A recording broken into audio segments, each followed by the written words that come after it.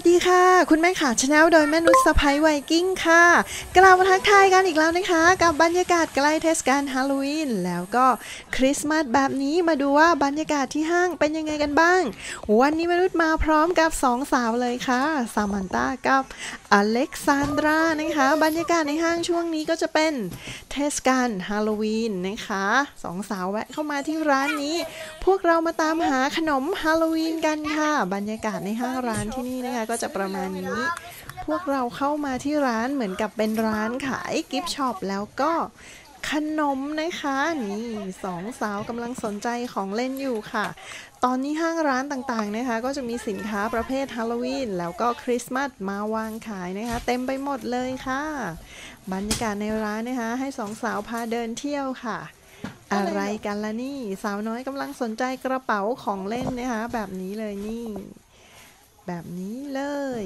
พรุ่งนี้ก็จะเป็นวันฮาโลวีนแล้วนะคะ วันนี้มนุษย์ก็เลยพาสองสาวออกมาซื้อขนมค่ะ ได้มาสองถังแบบนี้นะคะ ซื้อมาเตรียมไว้สำหรับคืนวันฮาโลวีนในวันพรุ่งนี้นั่นเองค่ะ แล้วก็ไปเดินต่อที่ร้านอื่นๆ กันบ้างว่ามีอะไรนะคะ อันนี้ก็จะเป็นร้านในโซนของ gift shop เอ่ยอะไรเอ่ยเครื่องประดับที่ร้าน H&M นะคะสองสาวชอบเลยละค่ะ ใกล้ถึงเวลารถเมล์จะมาแล้วค่ะ ก็มาตรงจุดนี้จะเป็นโซนที่เขาเอาไว้เปลี่ยนผ้าอ้อมเด็ก แล้วก็มีของให้เด็กๆเล่นนะคะ เพราะว่ารออีกประมาณเกือบครึ่งชั่วโมงเหมือนกันก่อนที่ รถเมล์ที่พวกเราจะนั่งจะมานะคะนี่เลย ตรงนี้นะคะก็จะเป็นโมนิเตอร์แสดงเวลารถเมล์สายต่างๆ ที่จะเข้ามาที่ท่ารถนะคะ รถเมล์ที่นี่จะมา ตรงเวลามากๆเลยค่ะ ตอนนี้นะคะพวกเราก็อยู่บนรถเมล์แล้วค่ะสองสาวอเล็กซานดรากับ